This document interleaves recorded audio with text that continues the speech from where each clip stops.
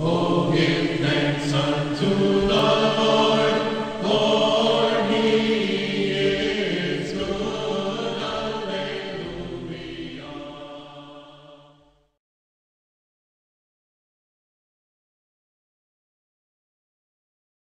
Well, hello, everybody, and welcome to the Bible study series from the Gospel Minute.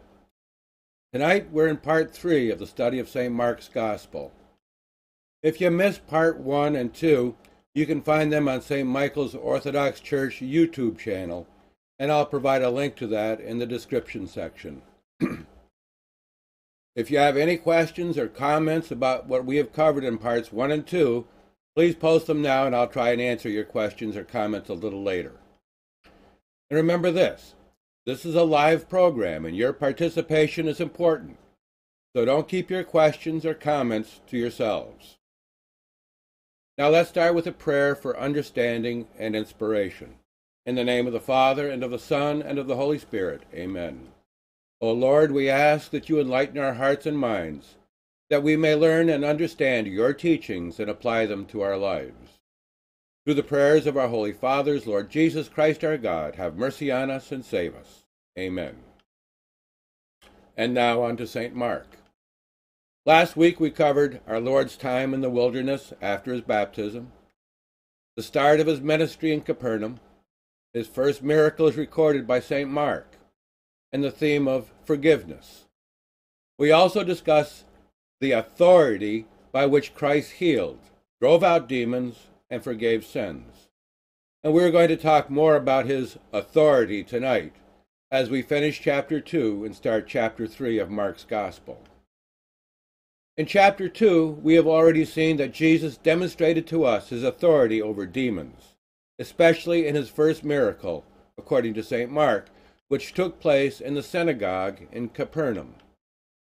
We saw his authority, or his power, over physical sickness when he healed Simon's, Peter's mother in law, and healed the leper and paralytic.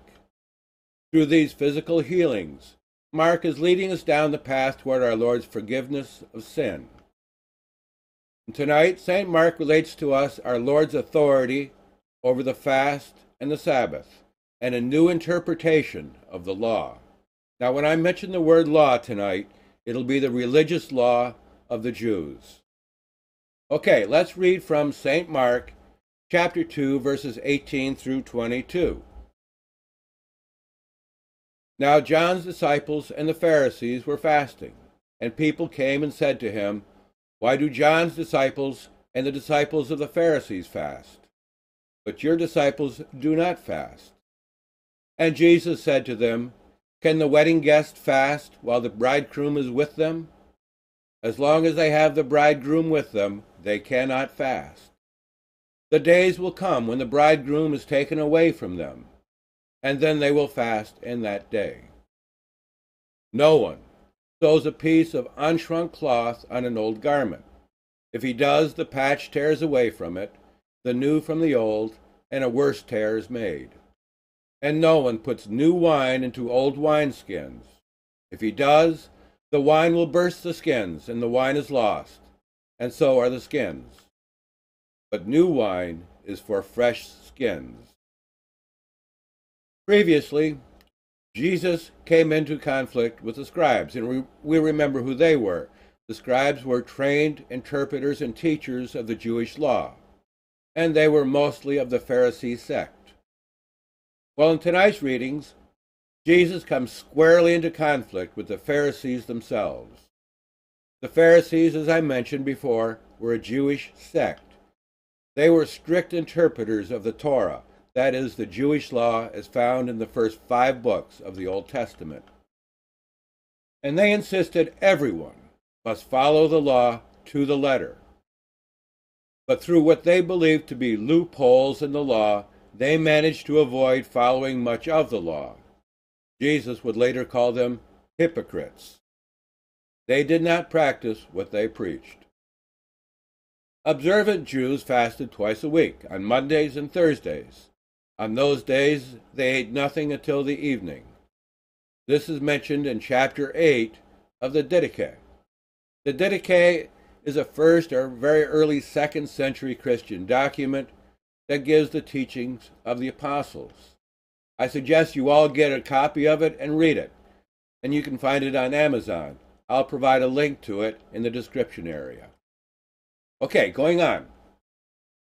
It looks like that the meal at Levi's house, you remember that from last week, that we mentioned took place on one of the fast days.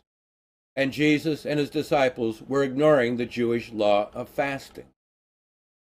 The Pharisees challenged Jesus on this, saying, Why is everyone else observing the fast, but your disciples are not? You see, there was no flexibility in the law. The law was the law and must be followed, no matter what the circumstances. Now let's not forget that Jesus was himself an observant Jew, and so followed the laws on fasting. In fact, he assumed and he mandated that his disciples follow it.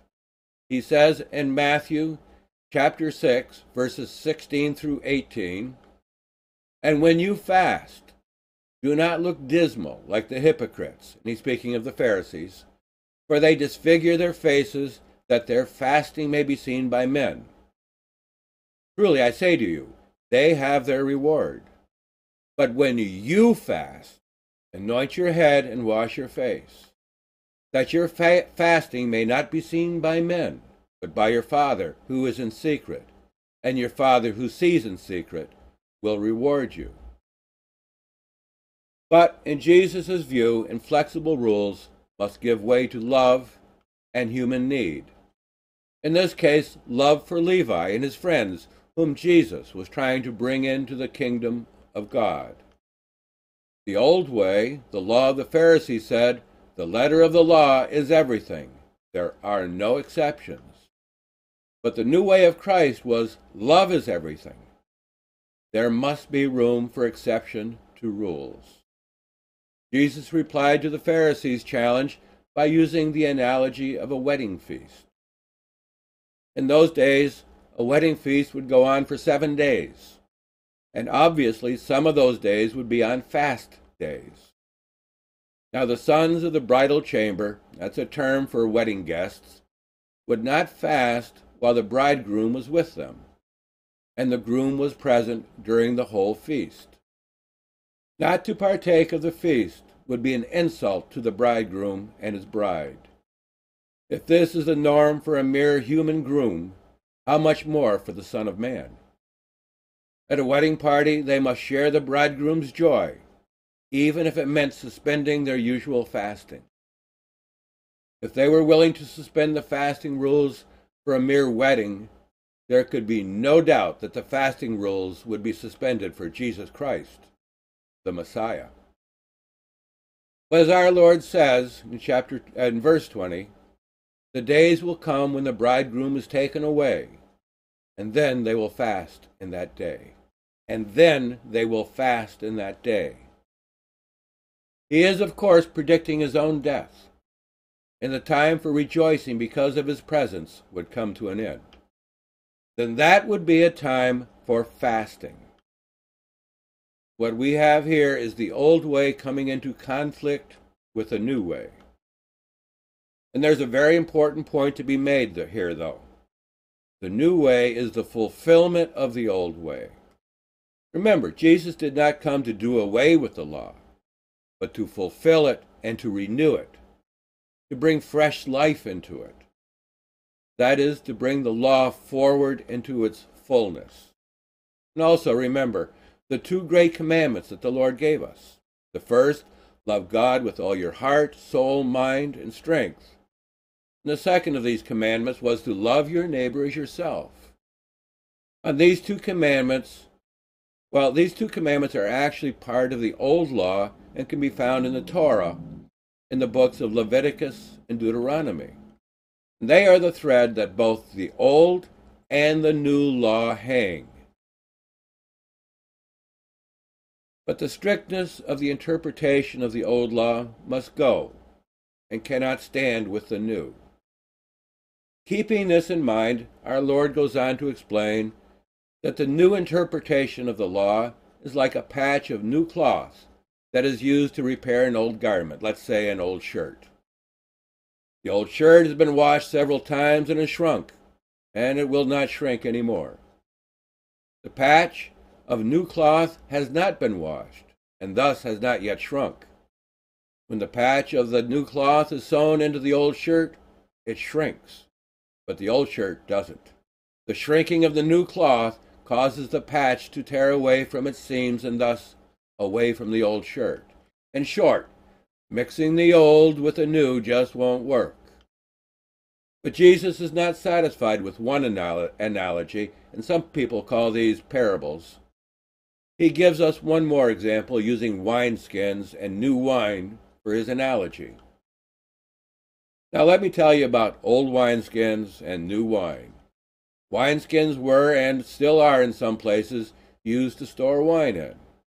After the wine has been in the skins for a while, the skin becomes like hardened leather, and there is no give in it. No stretch is left in it. I lived in Germany for a, a, number of years, and in the fall of the year we would go out and buy the new wine from that year's grape harvest.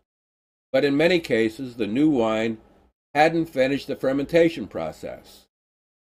Now, when wine ferments, it produces gas, and the gas is given off into the air, and everything is fine. But if it is bottled before the fermentation is finished, the extra gas that is produced pops the cork off the bottle. In the case of the wine skins, no one puts new wine into the old wine skins. Remember, the old wine skins no longer have any stretch structure flexibility in them. But the new wine is still expanding and will tear the old wineskins apart. But new wineskins will be flexible and will stretch to accommodate the new wine. Again, the old and the new won't work together. The old shows no flexibility, while the new must be flexible. And all this started with our Lord's authority over the fast. But we seem to have gone much further. Jesus and Mark have brought us into the deeper waters, comparing the incompatibility of the old and flexible system with the new kingdom of God, which love and consideration of mankind demands a certain amount of flexibility. Alrighty. Now, our Lord and the Pharisees came into conflict over the issue of the Sabbath. And let's read from chapter 2, verse 23 through 28. Before I do that, though, let me check for any comments or questions that we might have. And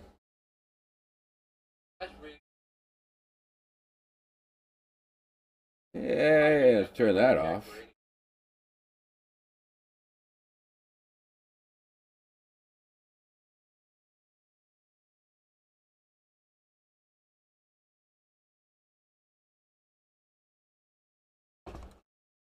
Okay.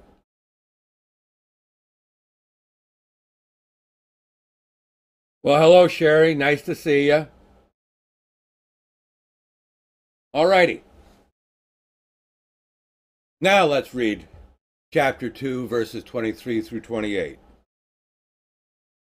Hello, Sherry. And I thought I'd turn that off. All righty.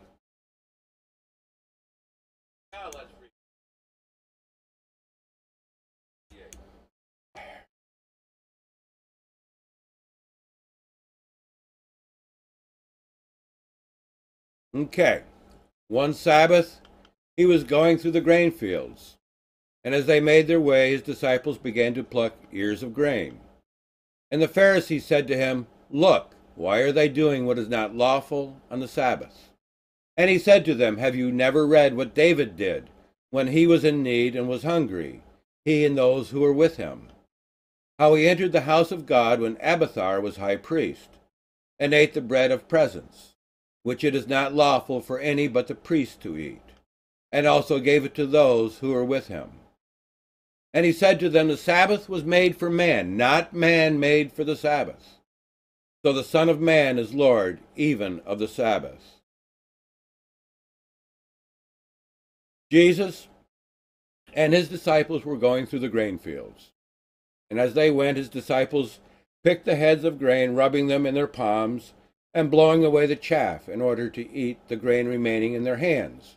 It was sort of like a, a granola treat or a granola bar to satisfy their immediate hunger. And actually, this was allowed in the Jewish law, which permitted a traveler to eat such food. See Deuteronomy 23 and 25. The Pharisees, with their detailed elaboration of the basic law, forbidding work on the Sabbath, could only see violations of the law and sin.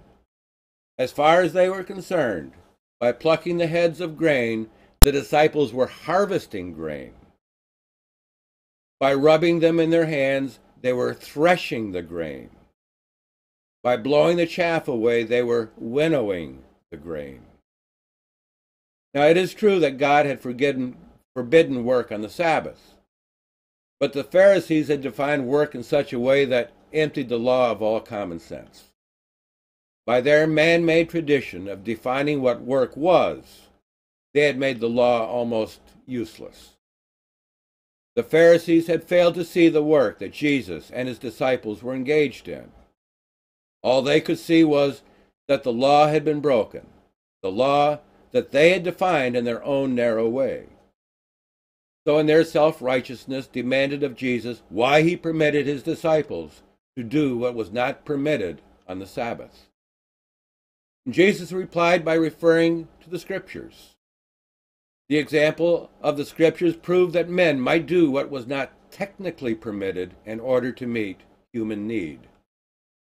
In the passage about the high priest Abiathar, David and his men were hungry as they fled from Saul.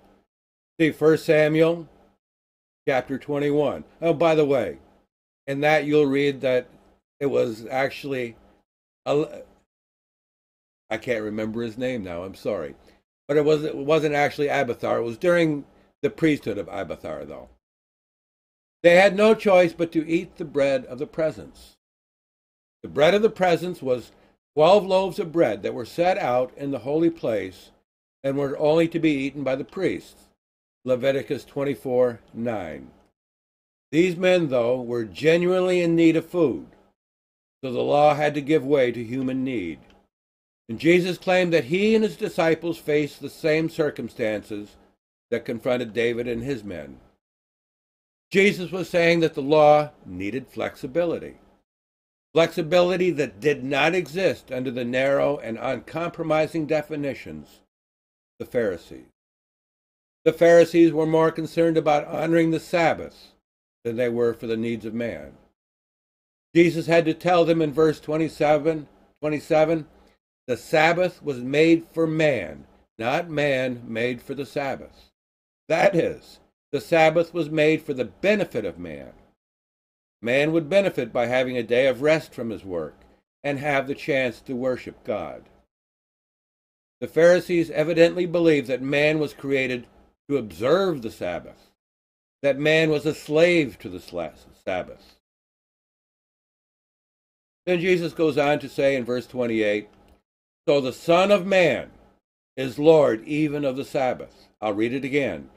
So the Son of Man is Lord even of the Sabbath. And there it is. Jesus declares himself to be the Lord of the Sabbath. He has authority over the Sabbath. Jesus in chapter 2 of Mark's Gospel had asserted his authority, authority over demons, physical illness, spiritual sickness, forgiveness of sin, the fast, and now the Sabbath.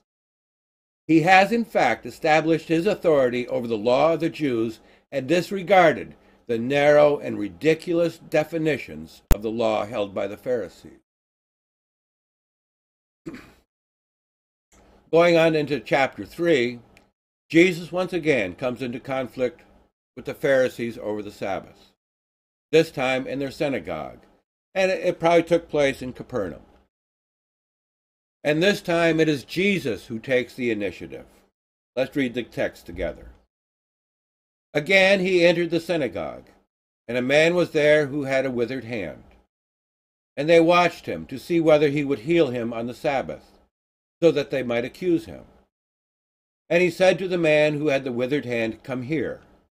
And he said to them, Is it lawful on the Sabbath to do good or to do harm, to save life or to kill? But they were silent.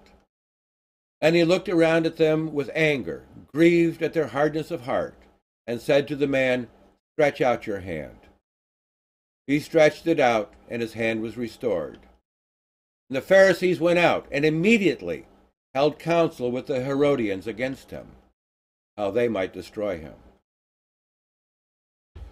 Now Jesus enters the synagogue and finds a man with a withered hand. Everyone is watching to see if Jesus will heal the man's hand. This is the Sabbath, and according to the Pharisees, a healing in the Sabbath would not be lawful. They were watching and waiting for the chance to accuse Jesus. Once again, Jesus sees his chance to assert his authority over the Sabbath and the law. Jesus calls to the man to come into the middle of the synagogue. Then Jesus challenges the Pharisees by saying, Is it lawful on the Sabbath to do good or to do harm, to save life or to kill? The Pharisees had nothing to say. Jesus was angered and saddened at these hard hearted Pharisees. They cared nothing for the man, they cared only for their overly strict interpretation of the law. As we saw in the text, Jesus restores the man's withered hand. The Pharisees were incensed at this, and when they left the synagogue, they immediately went to the Herodians to plot against Jesus. We know who the Pharisees were, but we haven't met the Herodians yet. The Herodians were the followers of Herod the Tetrarch. Herod was the puppet ruler of the Jews who was set up in power by the Romans. The Herodians cared little for the Jewish religious law. Their only care was to maintain the peace. As long as things were peaceful, the Romans would keep them in power. And they saw Jesus as a threat to that peace. The Pharisees and the Herodians did not get along and normally would not associate between themselves. But both seeing Jesus as a threat, would, that would bring them together to conspire against Jesus. As Father Farley says in his commentary, the shadow of the cross had fallen early across the path of Jesus. Well, friends, that's as far as we're going to go tonight.